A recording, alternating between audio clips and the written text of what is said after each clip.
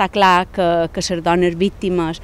són una prioritat nostra, però també els nins, perquè creiem en la vulnerabilitat eh, i creiem que els menors, eh, si les dones són vulnerables, els menors són molt més vulnerables perquè eh, pues això, eh, han de tenir un servei a on acudir i eh, es donar veu d'alarma eh, se'ls fa més complicat.